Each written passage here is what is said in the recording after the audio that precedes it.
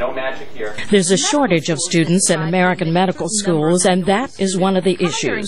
In recent years, U.S. medical colleges have graduated an insufficient number of students. Experts say the United States needs at least 50,000 more doctors, and if nothing is done about it, there could be a shortage of 200,000 by the year 2025.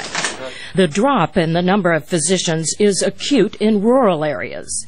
In addition, there are two growing segments of the population in greater need of medical care the elderly and the uninsured, largely made up of immigrants and the poor.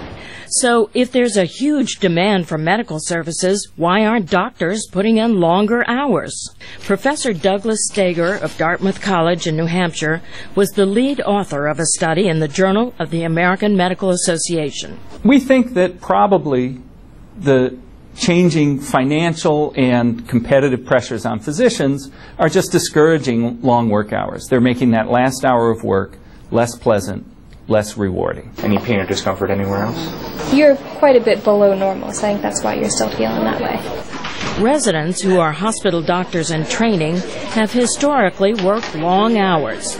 But in 2003, their hours were cut as a result of mandated limits imposed nationwide.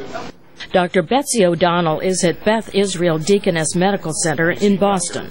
She says a shorter work week of 80 hours helps her function better.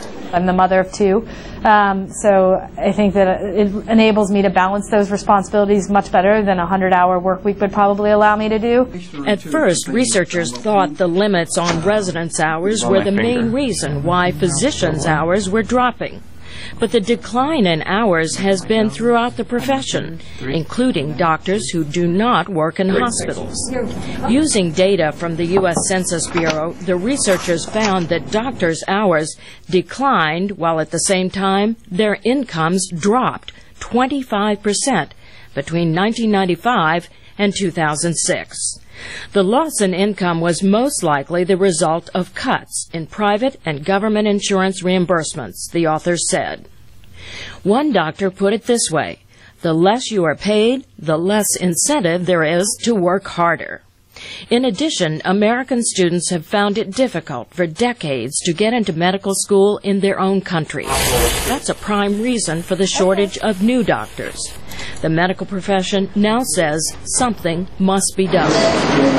The Association of American Medical Colleges says a 30% increase in enrollment is necessary to replenish the supply of doctors.